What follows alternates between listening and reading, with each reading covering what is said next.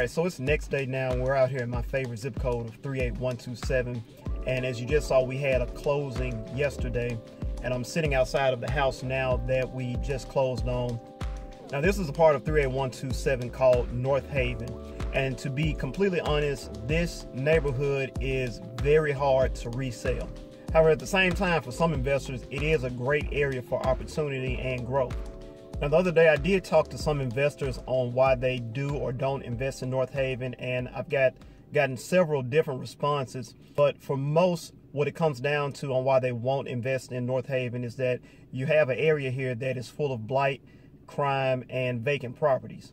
Northaven used to be a really nice neighborhood, but I got different opinions on how it got to this point.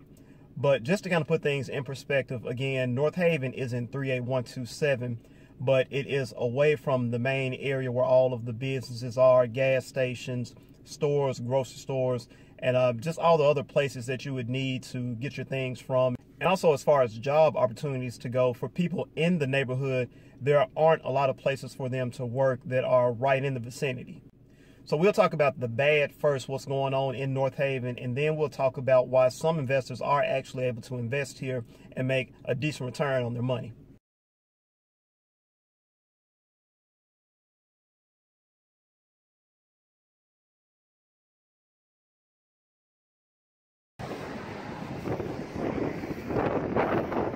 This is one of the only stores that's nearby for residents. Uh, for the most part, this is what they have unless they have, um, unless they go ahead and travel into the main Frayser area. We'll start with the issue of vacant properties in Northaven. Now this one is right across the street from the, uh, the property whose contract we just sold. And on this street alone, there may be another two or three houses that are vacant boarded up uh, with trash in the front yard, but we'll take a look at a few more just in the area. All right, now this house is on the same street, maybe two or three houses down from the one we were just sitting at. And there are two houses right next to each other. So I pull up to the next house and the next house it's been taken over by the city. And you can see the, the green sticker on the door is a sheriff sticker. So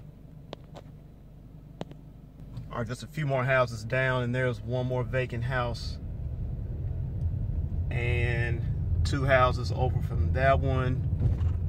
We've got another one. And again a third one. Actually this is the fifth one on the same street that's vacant. But we'll see if we can find any more. Now on this street I would say that close to maybe a quarter of the houses are vacant. So we have one right there, one right here, and across the street, there's one that looks like at some point they were doing rehab on it and just stopped. And if we go down a little more, the one right next to it is also vacant.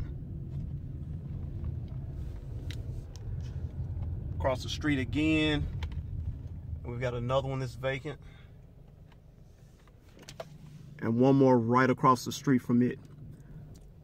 And drove almost 15 seconds before we found a couple more. So let's go straight ahead. We got another one that's vacant in this cove.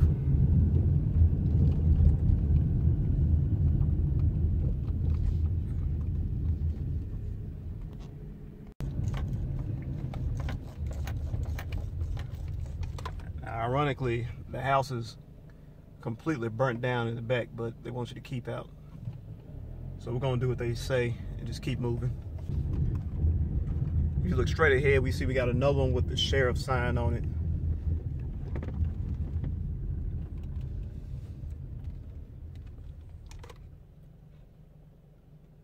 So I'll stop right there with the vacant properties because if I try to show you all of them that are in the area, I mean, I, I would be all day. But another issue that I found here after just doing some research, with Northaven being an unincorporated area, the residents here, they have to rely on getting their own trash services. So in the main part of the city, the um, the city actually takes care of, of trash pickup and everything. But here, you have to, to contract a service to come and get trash pickup for you. So for some of these houses, you just have um, trash that's just sitting in the front of the house, and you have dump sites where people have just thrown a bunch of trash. So some streets, they're just not the cleanest of streets.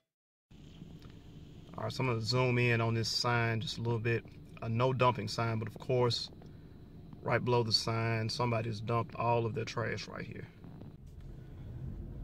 So we got two examples here of trash just in front of the house. And there's another vacant property. Another with some dump trash that was never picked up. Trash right there. I don't even know if we caught that one.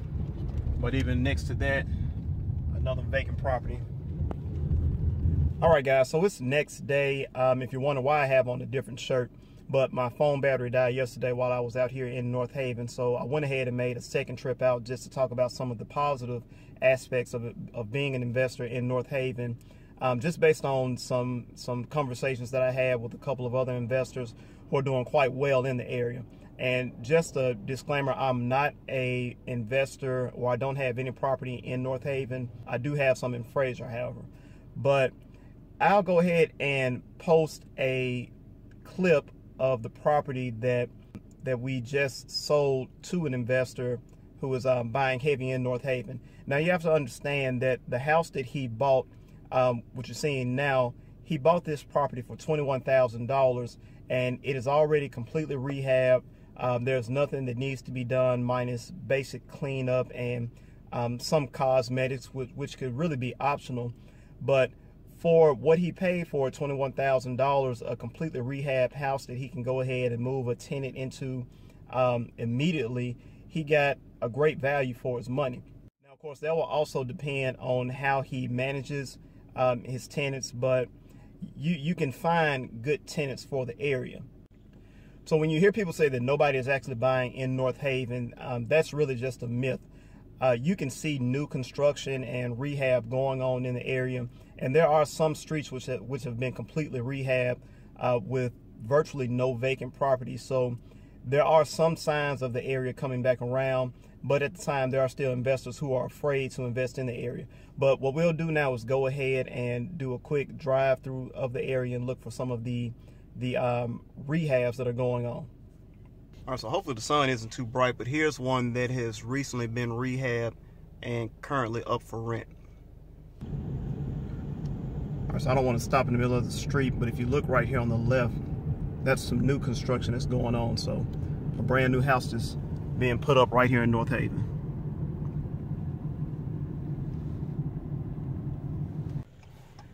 I had to point these two houses out on the side. These are a couple of new builds and just great looking houses.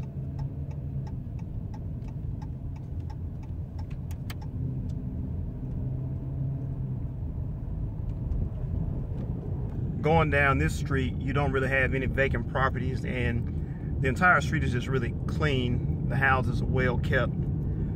Anyway, that was just a quick drive through of Northaven.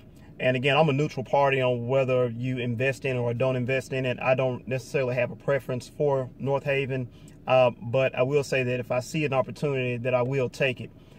Now, on the issue of that there is nobody buying in Northaven, um, that's just not true. And I'll show you how to find out who is buying in Northaven um, and around what price range that they are buying in. But oftentimes, I'll have newer guys to send me properties in Northaven and ask me if I have anybody for it. Uh, well, the thing is, I do have a couple of buyers for Northaven that are solid. Um, that's how I was able to to sell the contract for the one that um, I just played the clip for. But the thing is, no matter what house you try to sell or resell, sell the contract for, or what have you, if your price isn't right, it's just not going to move. But I'm headed back now to do some research just to show you guys how to find out who is buying in Northaven, or if you're in another city, um, how to find out who is buying in your hard to sell areas. All right, so we're looking at a map of the area that I just left now, 38127. And down here in this bottom corner is Frayser. And way up here in the top corner, wait for us to repopulate, uh, this is Northaven, the area that I rode around and talked about today. So what we're going to do, and again, a lot of people don't like to use Zillow, but for some basic things like sales, you can use Zillow. It's pretty accurate. But what we're going to do is take away properties that are for sale now, any potential listings, and we're going to go to recently sold. All right, so all over 38127, you can see that there's quite a bit of sales activity, but we'll narrow it down to the last six months. And we're just going to do six months because I, I've noticed that there is a bit of a lag in some of the, the sales data. So we'll do six months. And let's go over to Northaven and zoom in. zoom back out some just to see if it will populate correctly. So we see that there is some sales activity and it looks like somebody bought a bulk package. So whenever you see a big number that's completely out of place like this on Zillow, those are usually bulk packages that somebody's bought. But the numbers that people are buying in are fairly consistent 13,000, 20,000, 14,000, um, 16,000, 20,000. The one that we sold was for 21,000. So if you get a contract, you'll want to be under those numbers, some of the lower numbers. Here's one for eight, eight five, and it's a two bedroom a couple for 44, which I would imagine were probably turnkey properties or properties that were um, sold as a package with a tenant already in place and also the management. But but what I'll do now is click on one of the properties and show you how to find out who the buyer is. So this property was sold back in September. So a few months back, but not too long ago.